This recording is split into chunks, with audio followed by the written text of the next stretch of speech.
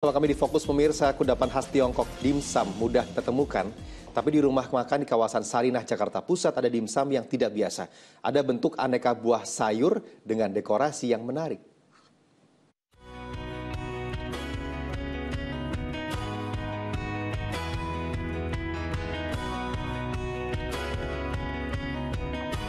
Duh, mana tega sih makan dimsum yang cantik-cantik gini? Kastil Dimsum di kawasan Sarinah, Jakarta Pusat ini menyajikan kudapan khas Tiongkok dengan tampilan unik, mulai dari bentuk buah, sayuran, dan berbagai karakter. Proses membuatnya cukup rumit loh. Karena perlu banyak proses ya. Untuk durian juga sama, kita perlu rumit untuk bikin duri-durinya ya. Kayak untuk apel juga sama, untuk membentuk itu perlu apa ya?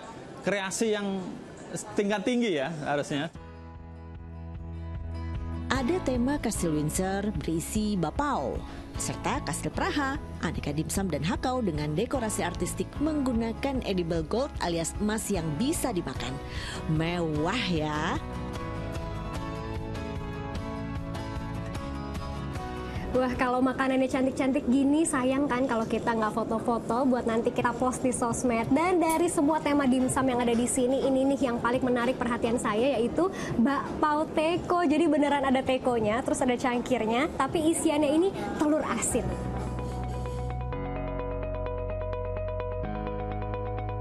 Gemes kan jadi ingin makan tekonya? Nah, yang ini nggak kalah unik. Rasa isian di dalamnya juga sama dengan bentuknya. Hmm, isinya durian juga. Bosan dengan dimsum?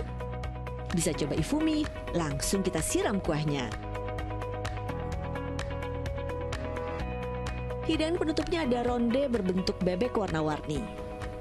Aneka dimsum di sini bisa dinikmati mulai dari Rp25.000.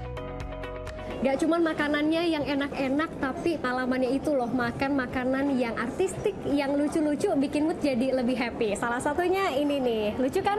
Dari Jakarta, Janet Lee dan Oki Ardan melaporkan.